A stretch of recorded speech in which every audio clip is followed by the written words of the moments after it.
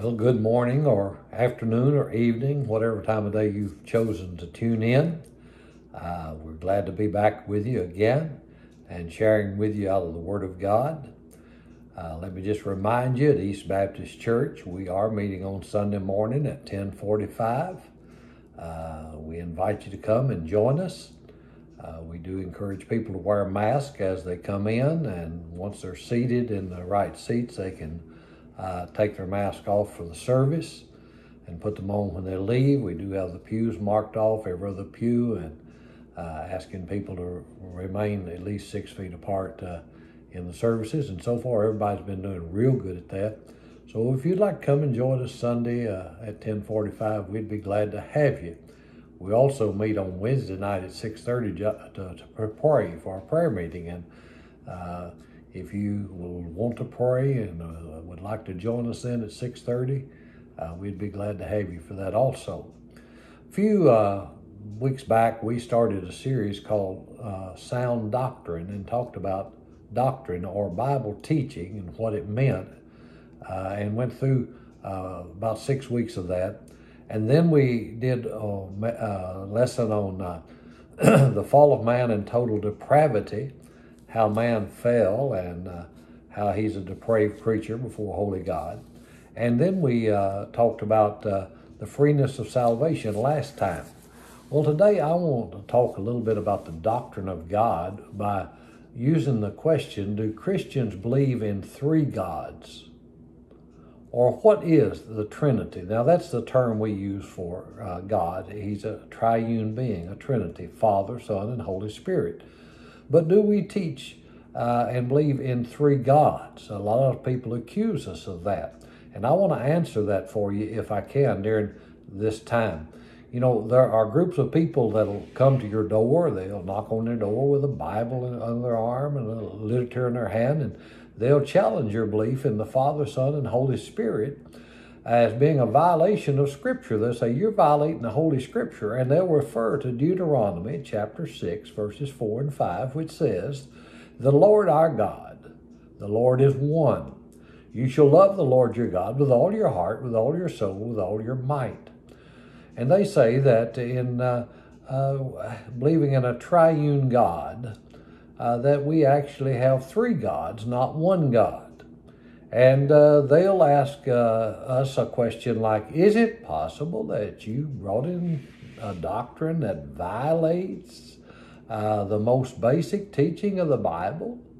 Uh, have you introduced something that violates what the Bible teaches?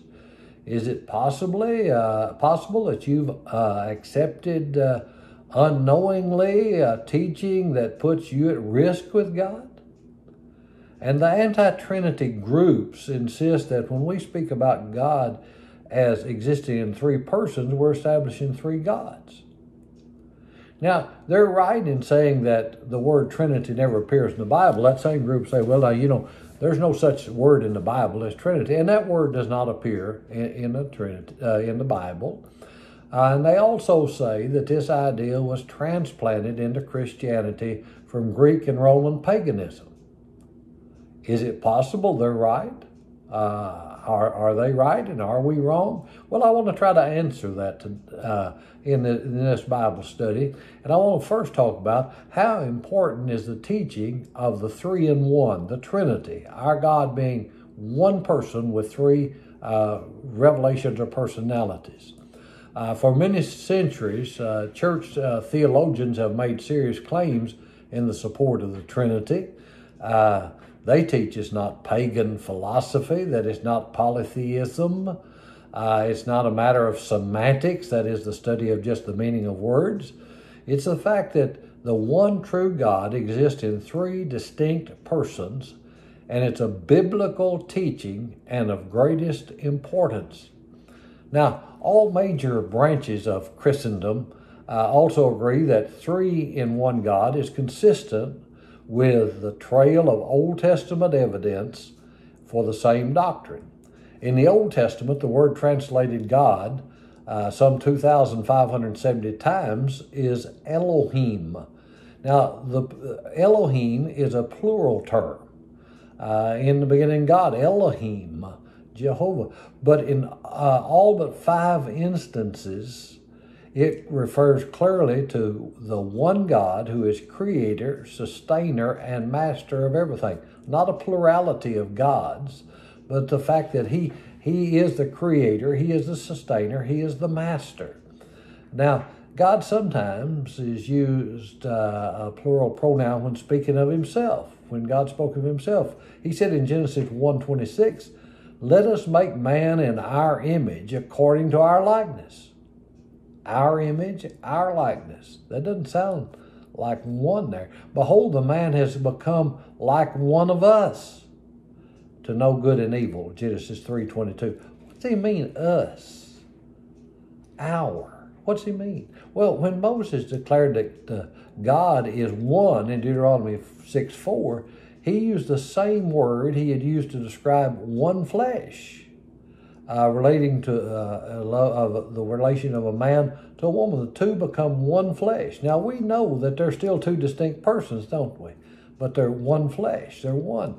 Because we can't understand, there's no reason to object. So, uh, how important is the teaching of three and one? Very important because it's biblical. The triune nature of God is biblical. The Trinity, Father, Son, Holy Spirit, is biblical. Now, what is the relationship of the Father, Son, and Spirit? If we have a Father, Son, and Spirit rolled into one God, what's the relationship? Well, the New Testament relationship between Father, Son, and Holy Spirit uh, disproves the conclusion that the Father alone be thought of as the only true and most high God. That's what some say, just the Father. You see, the God of the New Testament, however, links his own name to the threefold designation as Father, Son, and Holy Spirit. The New Testament shows that the Father makes our relationship to him dependent on our relationship to the Son and our relationship to the Son is dependent on our relationship to the Spirit. Uh, this God certainly shares His glory among three persons.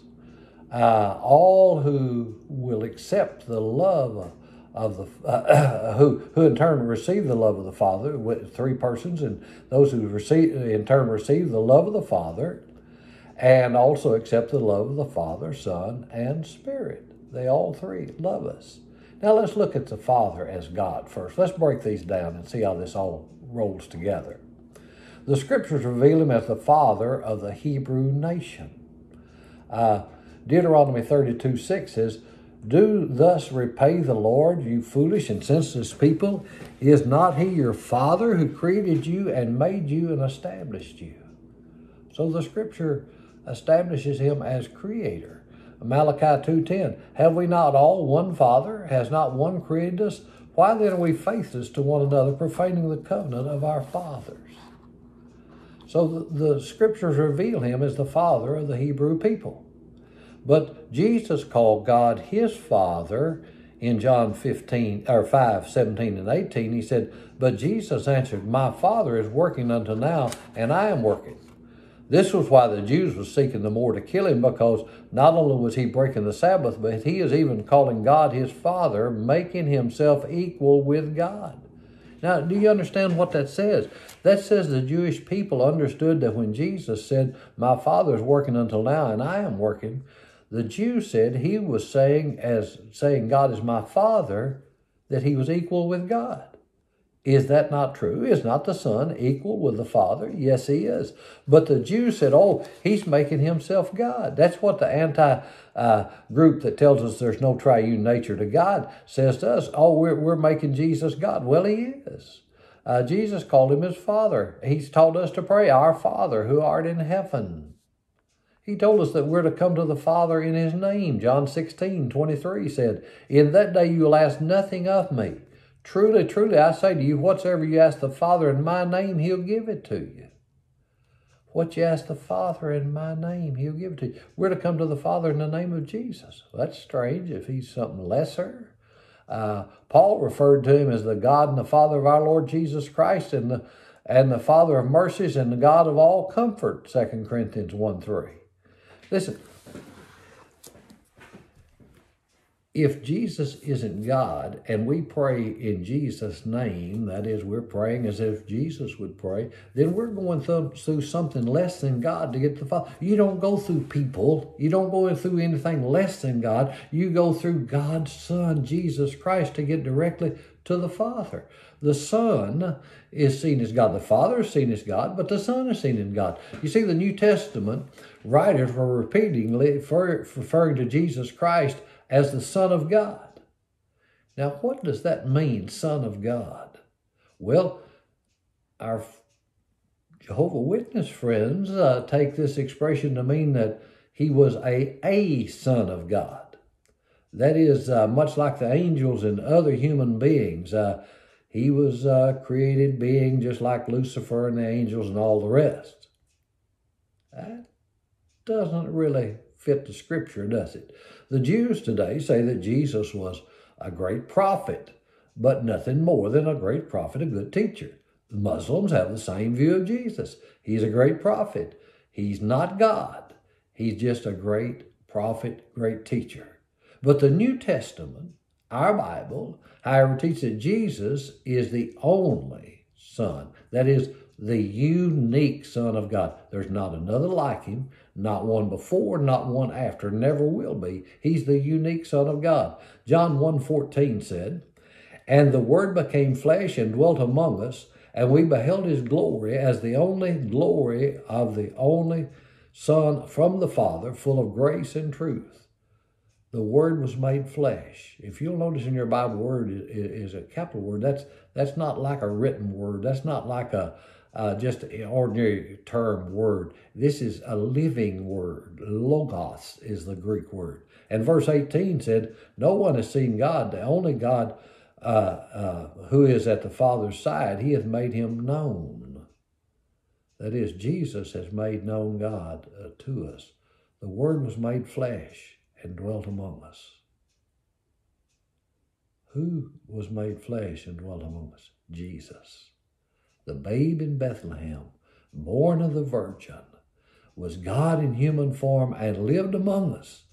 And we've seen his glory as the glory of the only Son from the Father, full of grace and truth.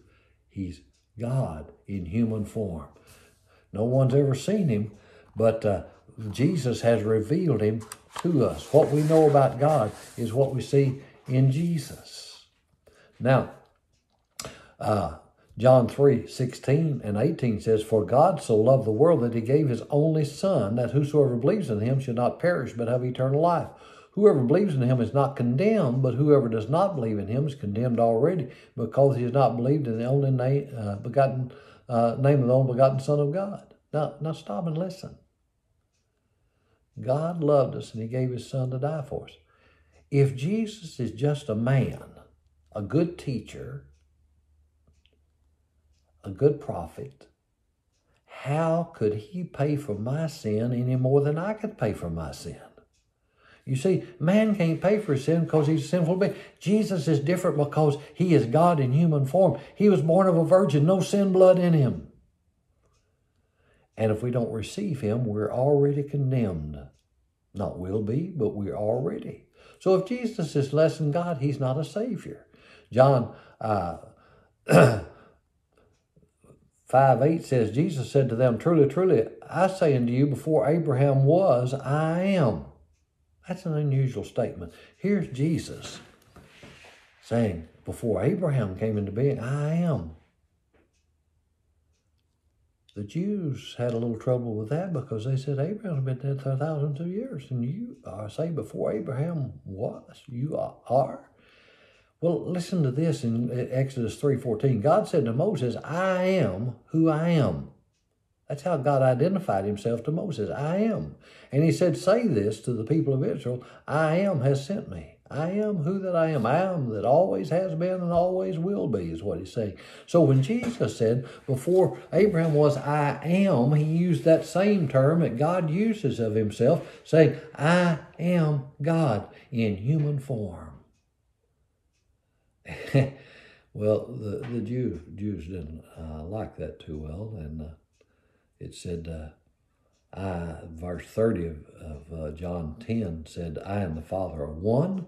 The Jews picked up stones again to stone him. Jesus answered and said, I've shown you many good works from the Father, for which of them are you going to stone me? The Jews answered him, It is not for good work that we're going to stone you, but for the blasphemy, because you being a man make yourself God. What was they angry with him about? Because he healed him? No, because he had proclaimed himself to be Almighty God. You see, Jesus is God in human form. When Jesus, you know, appeared a lot of times, and uh, the scriptures portray Christ as, as sharing the glory of a jealous God who, through Moses, insisted that no one deserved to be worshiped but God Himself. God shares His love with angels and mortals, but He shares His glory with His Son. Uh, our God is eternal. Uh, he, he's inter- eternal. I am who I am. I always have been, I always will be. The Jews wanted to stone Jesus because he identified him as the I am, the one that always has been and always will be. He said, I am.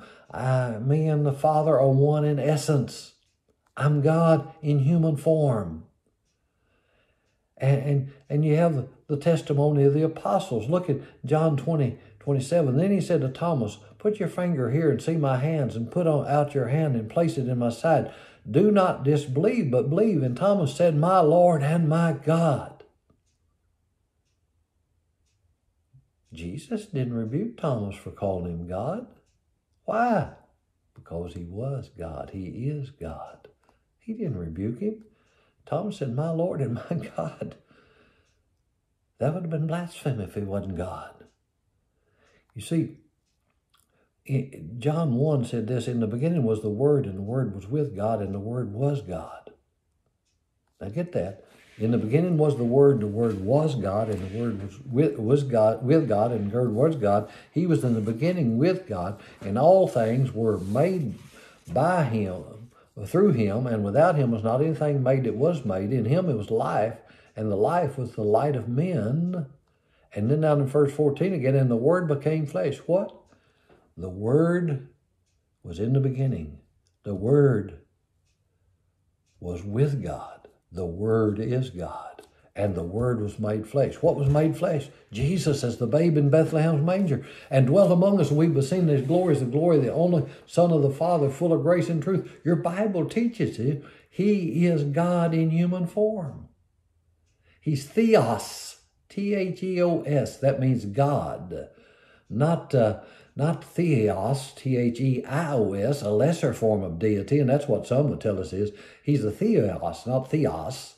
He's a lesser form of deity. No. Titus uh, chapter 2, verse 13 said, training us to renounce ungodliness and worldly passions and to live self controlled, upright, and godly in this present age, waiting for our blessed hope, the appearing of the glory of our great God and Savior Jesus Christ. Paul said to Titus, He's God. Second Peter 1 1, Simon Peter, a servant and apostle of Jesus Christ, to those who obtained a faith of equal standing with ours by the righteousness of our God and Savior Jesus Christ. Simon Peter said the same thing. He's our God and Savior, Jesus Christ. Now, the prediction of the Old Testament uh, uh, tells us that, you know, uh, in, in Isaiah's uh, writings, he said, you know, that for unto us a child is born, to us a son is given. This is Isaiah 9 6. The government shall be upon his shoulder, and his name shall be called Wonderful or Counselor, Wonderful, Counselor, Mighty God, Everlasting Father, Prince of Peace.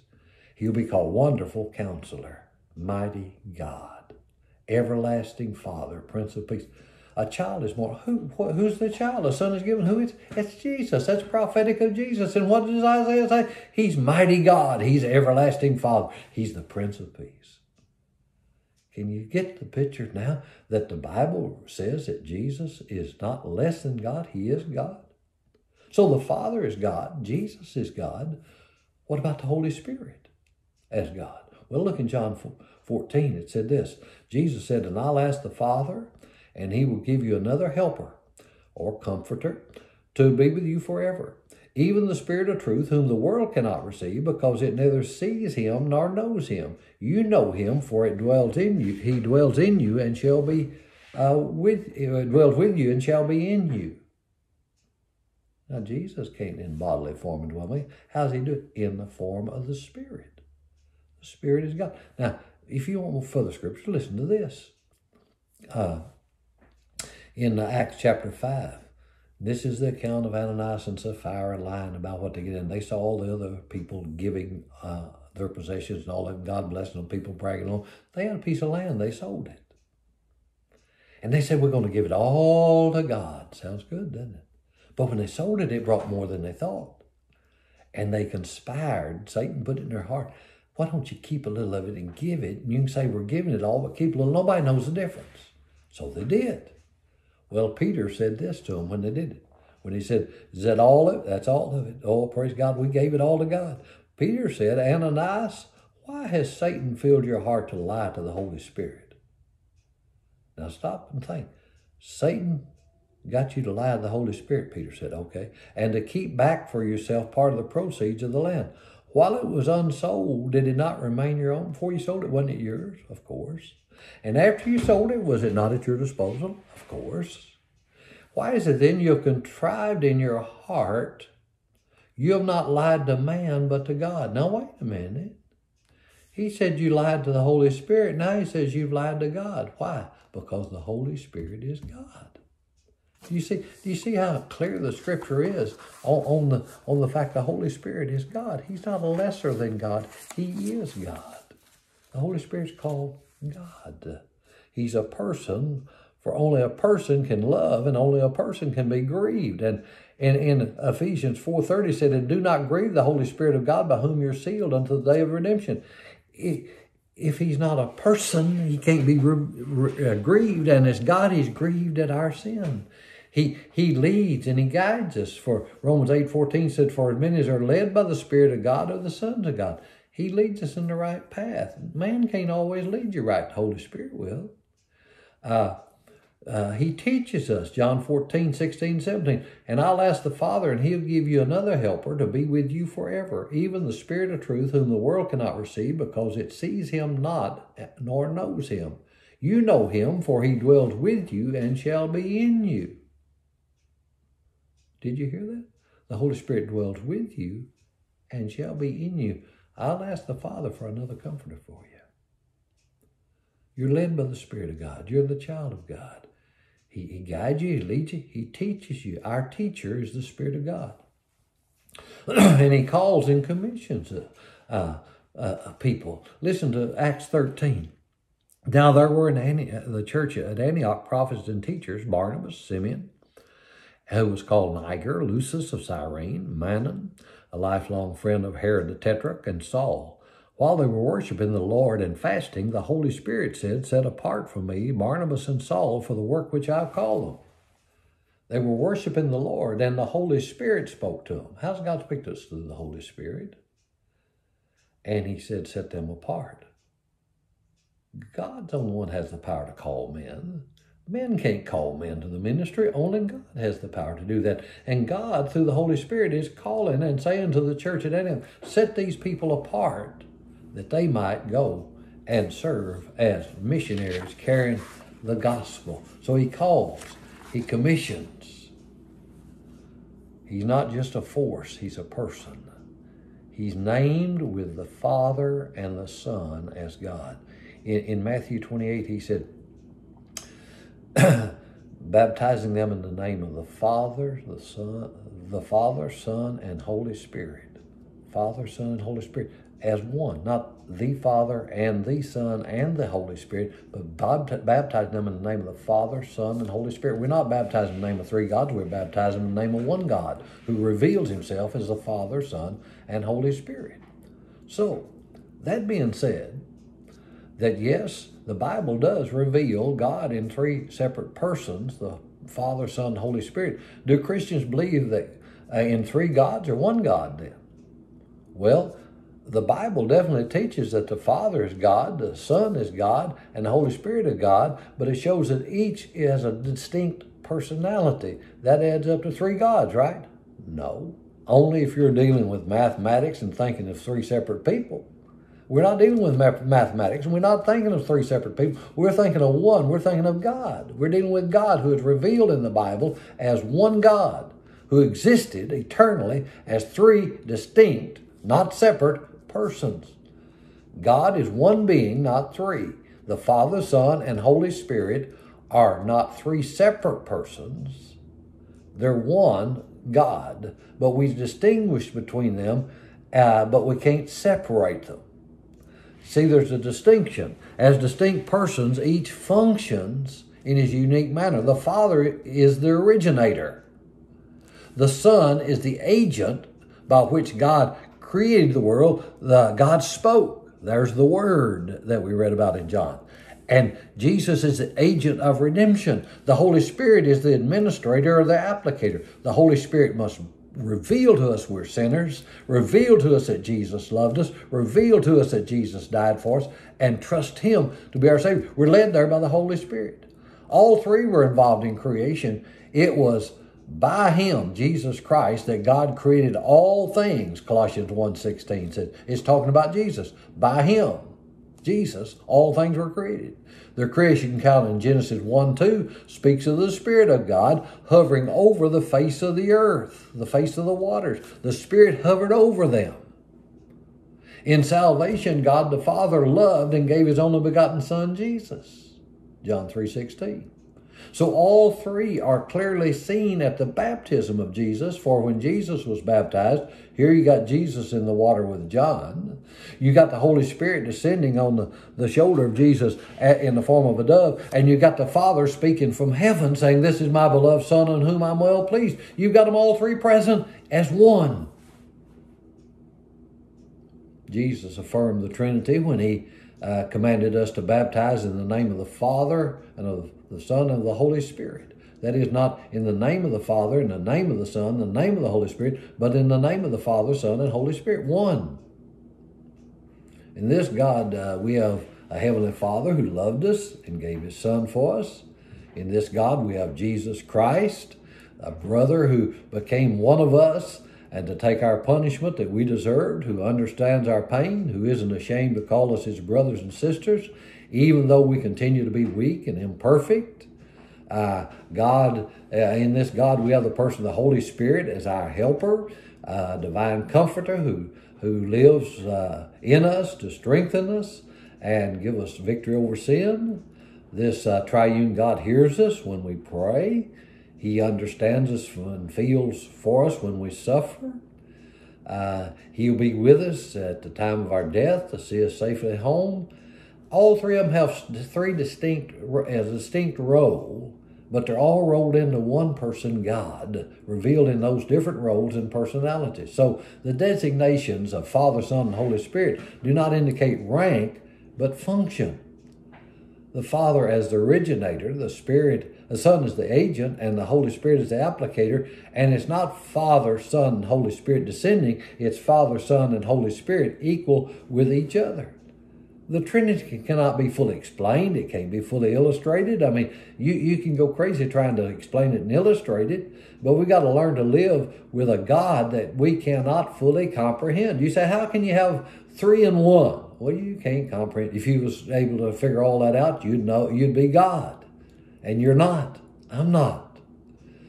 C.S. Lewis uh, said this: If Christianity was something we were making up, of course we could make it easier, but it isn't. We won't compete in simplicity with people who are inventing religions. How could we? We're dealing with a fact. Of course, anyone can be simple if he has no facts to bother about. You take out the facts and you can be as simple as you want to be, is what he's saying.